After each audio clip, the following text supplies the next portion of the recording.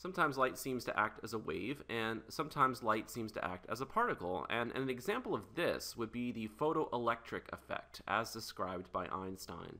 So let's say you had a piece of metal, and we know the metal has electrons. I'm going to go ahead and draw one electron in here. And this electron is bound to the metal because it's attracted to the positive charges in the nucleus. If you shine a light on the metal, so the right kind of light with the right kind of frequency, you can actually knock some of those electrons loose, which causes a current of electrons to flow. So this is kind of like a collision between two particles, if we think about light as being a particle. So I'm going to draw in a particle of light, which we call a photon. So this is massless. And the photon is going to hit this electron. And if the photon has enough energy, it can free the electron, right? So it can knock it loose. And so let me go ahead and show that. So here we're showing the electron being knocked loose. And so the electron's moving in, let's just say this direction with, with some velocity v. And if the electron has mass m, we know that there's a kinetic energy, right? The kinetic energy of the electron would be equal to 1 half mv squared. This freed electron is usually referred to now as a photoelectron. So one photon creates one photoelectron. So one particle hits another particle. And if you think about this in terms of classical physics, right, you could think about energy being conserved. So the energy the photon, the energy that went in, so let me go ahead and write this here. So the energy of the photon, the energy that went in, what happened to that energy? Some of that energy was needed to free the electron, right? So the electron was bound, and some of that energy freed the electrons. I'm going to call that E naught, the energy that freed the electron. And then the rest of that energy must have gone into the kinetic energy of the electron. And so we can write here kinetic energy of the photoelectron that was produced. So kinetic energy of the photoelectron. So let's say you wanted to solve for the kinetic energy of that photoelectron. So that would be very simple. Just be kinetic energy would be equal to the energy of the photon, energy of the photon, minus the energy that was necessary to free the electron from the metallic surface. And this E naught, here I'm calling it E naught. You might see it, uh, you might see it written differently, uh, a different symbol, but this is the work function. So let me go ahead and write work function here. And the work function is different for every kind of metal. So the it's the minimum amount of energy that's necessary to free the electron. And so obviously that's going to be different depending on what metal you're talking about. All right, let's do a problem. Now that we understand the general idea of the photoelectric effect, let's look at what this problem asks us. So the problem says if a photon of wavelength 525 nanometers hits metallic cesium, and so here's the work function for metallic cesium, what is the velocity of the photoelectron produced? So they want to know the velocity of the photoelectron produced, which we know is hiding in the kinetic energy right here. And we also know what the work function is, so we know what E naught is here. What we don't know is the energy of the photon, so that's what we need to calculate first. And so the energy of the photon, energy of the photon is equal to h, which is Planck's constant, times the frequency, which is usually symbolized by nu. So we had the frequency, but they gave us the wavelength in the problem here. They gave us wavelength. So we need to relate frequency to wavelength. And that's related by c, which is the speed of light, is equal to lambda times nu. So c is the speed of light, and that's equal to the frequency times the wavelength. So we can uh, we can substitute in for the frequency, right? Because we can just use this equation and say that the frequency is equal to the speed of light divided by the wavelength. C is uh, v, uh, the frequency is equal to speed of light over lambda. So we can plug that into here. And so now we have the energy of the photon is equal to hc over lambda, and we can plug in those numbers h is Planck's constant, which is 6.626 times 10 to the negative 34.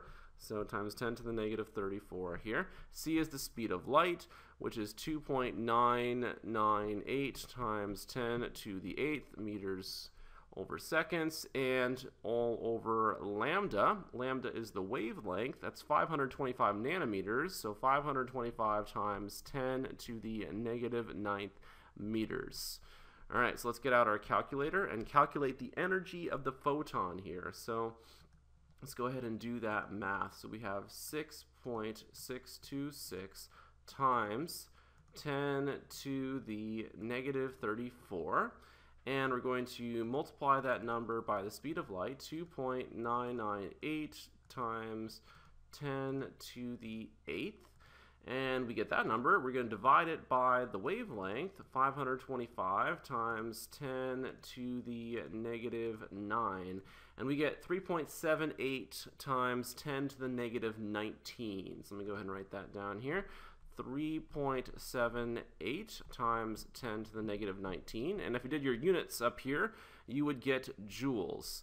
And so let's think about this number for a second. 3.78 times 10 to the neg negative 19 is the energy of the photon. And that, that energy of the photon is greater than the work function, which means that that is a, that's a high energy photon. It's able to knock the electron free. Because remember, this number right here is the minimum amount of energy needed to free the electron. And so we've exceeded that minimum amount of energy. And so we will produce a photoelectron. So this, this photon is high energy enough to produce a photoelectron.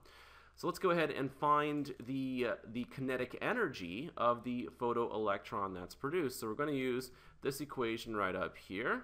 So let me just go and get some more room and I will rewrite that equation. So we have the kinetic energy of the photoelectron, kinetic energy of the photoelectron is equal to is equal to the energy of the photon, energy of the photon, minus the work function. So let's plug in our numbers. The energy of the photon was 3.78 times 10 to the negative 19 joules. And then the work function is right up here again. It's 3.43, so minus 3.43 times 10 to the negative 19 joules. So let's get out the calculator again. So from that, we're going to subtract the work function, 3.3.43 times 10 to the negative 19, and we get 3.5 times 10 to the negative 20. So let's go ahead and write that. This is equal to 3.5 times 10 to the negative 20 joules. This is equal to the kinetic energy of the photoelectron, and we know that kinetic energy is equal to 1 half mv squared. The problem asked us to solve for the velocity of the photoelectron. So all we have to do is plug in the mass of an electron, which is 9.11 times 10 to the negative 31st kilograms times v squared. This is equal to 3.5 times 10 to the negative 20. So let's do that math. So we take 3.5 times 10 to the negative 20, we multiply that by 2, and then we divide by the mass of an electron, 9.11 times 10 to the negative 31st. And this gives us that, that number, which we need to take the square root of. So square root of our answer gives us the velocity of the electron, 2. Uh, 2.8 times 10 to the fifth, right? So if you look at your decimal place here, this would be 1, 2, 3, 4, 5. So 2.8 times 10 to the fifth meters per second. So here's the velocity of the photoelectron produced. 2.8 times 10 to the fifth meters per, per second. And if you increased the intensity of this light, so you had more photons, right, they would produce more photoelectrons. So one photon knocks out one photoelectron if it has enough energy to do so. So let's uh, let's think about the same problem, but let's change the wavelength. So what if what if your wavelength changed to 625 nanometers? So what would happen now? Well, to save time, I, I, won't do the calculation, but all we would have to do is plug in 625 up here. So instead of 525, just plug in 625 to calculate your energy. And if you did that, so if you used if you use 625 times 10 to, the negative 9 here, um, I'll go ahead and give you the answer just to save some time. You would get 3.2 times 10 to the negative 19 joules and that is lower than the work function right? So let me go ahead and highlight that here. So this number this number is is not as high as the work function. The work function was how much energy we needed to free that electron. And since this is lower than the work function, that means we do not get a photoelectron. So you have to have a high enough energy photon in order to produce a photoelectron. It wouldn't even matter if we increased the intensity, right? So if we had more and more and more of these photons of, the, of this wavelength, we still wouldn't produce any photoelectrons. And so this is the idea of the photoelectric effect, which is best explained by thinking about light as a particle.